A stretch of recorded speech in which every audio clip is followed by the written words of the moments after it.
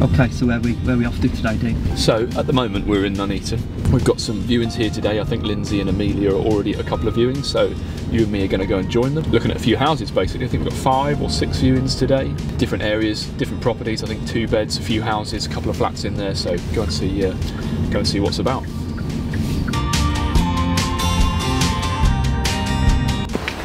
Do you enjoy this part of the process, Dean? We're looking for properties. You filming me now? Yeah. Yes, I do. Yeah. And I was just saying to you in the car, I don't get to do it as often as I used to. Yeah. I quite enjoy just wandering about, basically, being nosy and kind of getting a feel for what we're doing, really. I suppose we buy them, of course. So my name goes on the title, and you know we take on the mortgage lending and stuff. So I can't, you kind of do need to understand essentially what you are buying and the communities you're working in. That's probably more important.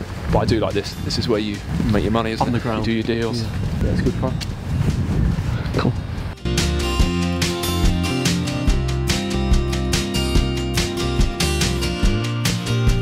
So just waiting at our next property viewing. Property's close to local shops, which is good, isn't it, Dean? Yep. There, so always look for local amenities. So we're on the outskirts of Nuneaton, we think. Galley Common is the is the area. We kind of source properties around all the areas of Nuneaton, see if they're appropriate inside. We present them to the, the council and see if they wish to take them off so we can get them under offer then, do the works that we needed and get them to families that need it as quickly as possible. That's pretty much that's pretty much bang on, Joe. That's pretty much bang on.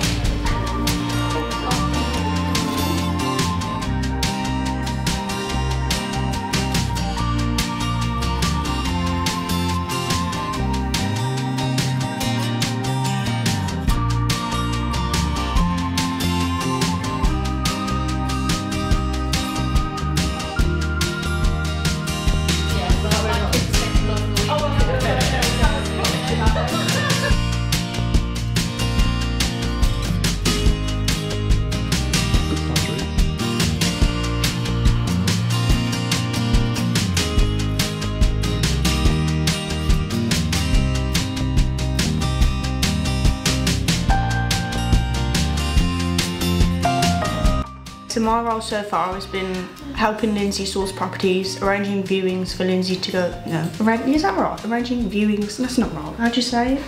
My role in the Nuneaton project is to source properties off Rightmove and Zoopla, and then arrange property viewings for Lindsay and myself to go along to. Last Thursday we went along to one and seen five different properties, mm-hmm. and then during the property viewings I fill out viewing sheets, just like making little comments about each room and like things that would need to change. I quite enjoy going out 'cause it's obviously being out of the office. Obviously from when I've done it previously, I now more know what I need to do. So it's like getting more involved. What's been the biggest challenge so far within within the project? The biggest challenge, I think, is once an offer has been agreed and it's the conveyancing and legal side, it's getting that pushed through. As much as anybody wants a quick sale of uh, eight week kind of turnaround, doesn't always necessarily happen. So that for me just has a backlog in terms of me then being able to get in and get the works done that are necessary for us to then hand over to the um, to the council. It's not finding them. There's plenty to be had. Obviously, then there's the negotiation of then getting the right deal, of which then fits in with our budget, etc.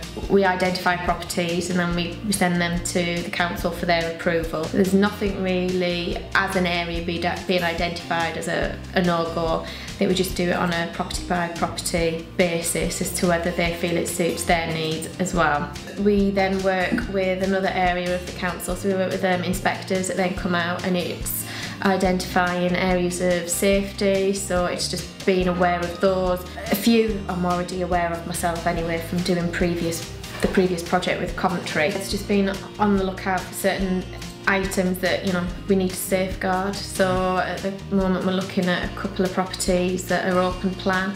So it's safeguarding those areas because obviously the kitchen's in the living area. So how can we make that area safer for families with young children? What's the next steps? What's our target? Right, well, target. so we need to hit 20 by the end of April, but we had set ourselves a target of trying to get eight by Christmas. So we've got eight currently on the go in terms of going through the motions of legals, etc. Two have already been hand, handed over. Effectively, 10 in the pipeline were two already handed over, but you know, it'd be nice because we sort of said we'd like to hand eight over by Christmas. So we're 25% of the way there. It's just gonna have to be a big push now to try and get the rest of them over the line.